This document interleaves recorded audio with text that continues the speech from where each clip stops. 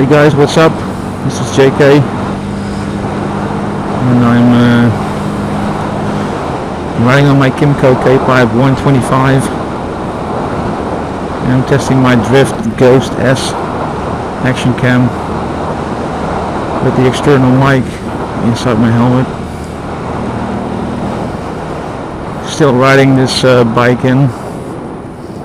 Almost uh, it's got about a thousand kilometers on it. So I'm taking it easy.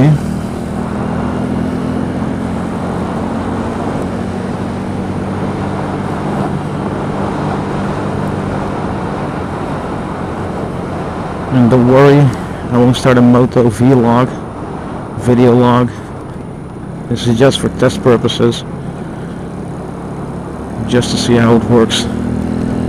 I just want to catch the engine sound of the exhaust. But I don't think you will hear the uh, K-pipe. Because it has not much decibels.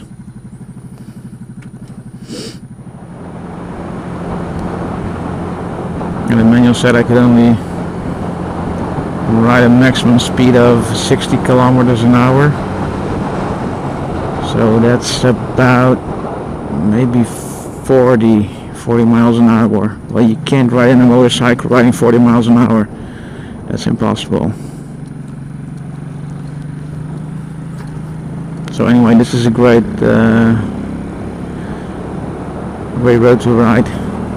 It's about seven kilometers long and it runs in a circle. And I still have to do 15 kilometers, so that's about two circles and then I'm done. And I can go full speed on this bike. Actually, the manual says it needs to be uh, a thousand miles or 1600 kilometers. But thousand is okay for me, a thousand kilometers. That's okay, that's okay.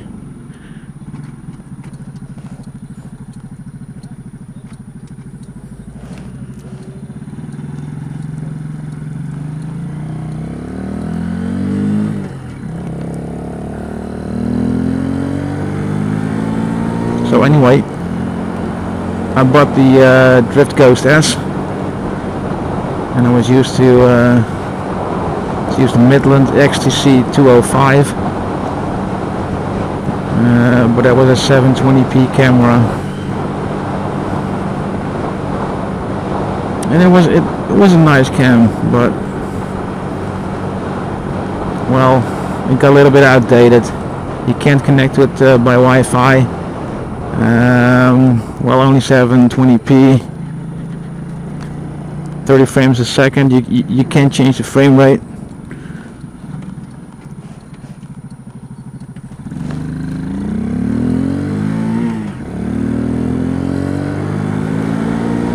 And uh, well, this this Ghost S is really really good. You can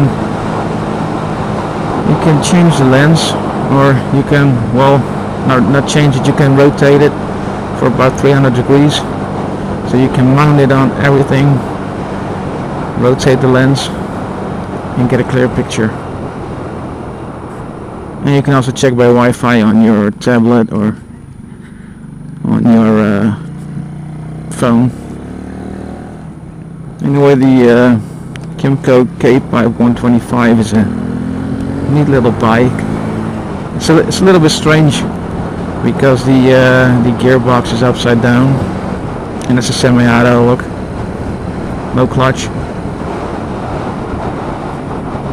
But the gearbox is upside down so on top is uh, neutral. Then you got if you press down one then it's the first uh, gear. And then you got three more. And that's it